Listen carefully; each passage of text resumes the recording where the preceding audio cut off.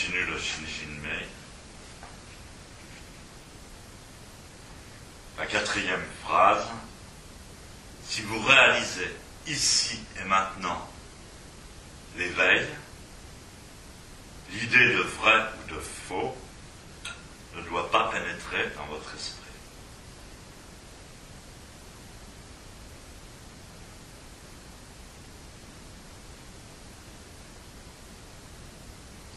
Si vous réalisez ici et maintenant. Donc c'est important ici et maintenant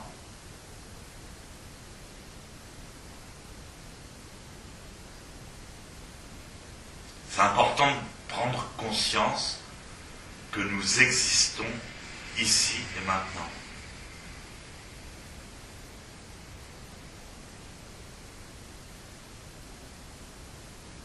En général, on passe notre temps à reformuler la définition de ce que nous pensons être.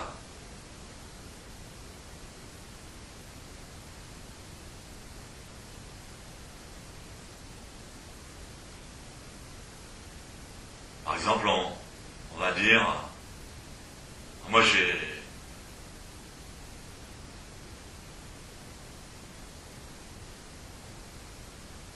Par exemple, on va dire, je suis très émotive. Moi, je suis très émotive. Oui, mais maintenant, tu es très émotive? Non, non. En général, je suis très émotive. Donc on énonce ici maintenant, on refait toujours une définition qui en fait est déjà passée. Et donc on la réintroduit dans, notre réalité.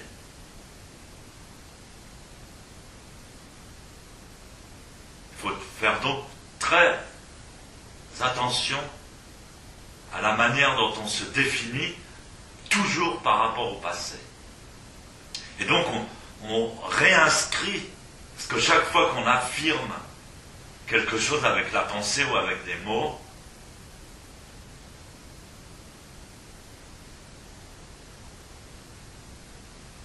on réaffirme sa réalité, on la reprojette dans le futur. Une sorte de, de magie noire.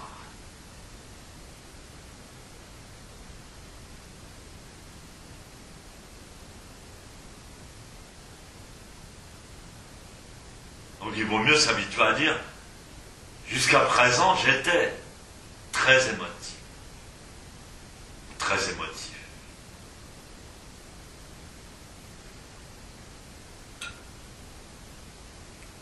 Mais je suis libre. Ici maintenant, je suis libre.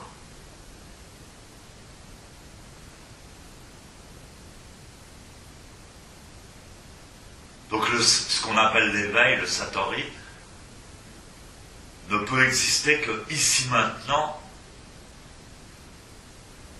en état de liberté par rapport au passé.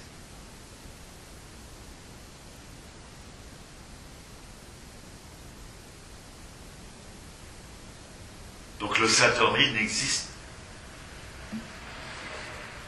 que lorsqu'on laisse derrière le passé.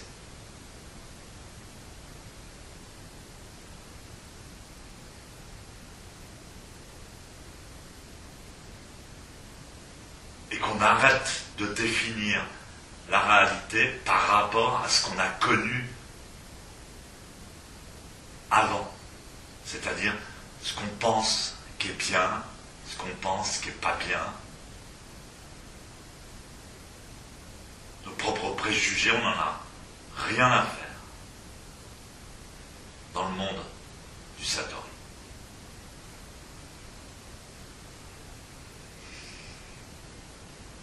Donc l'idée de vrai ou de faux ne doit plus pénétrer dans notre esprit. Ça, c'est un état très important et très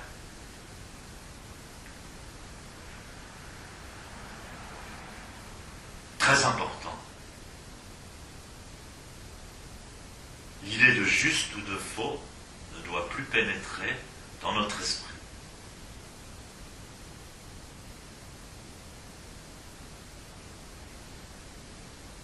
On doit devenir réceptif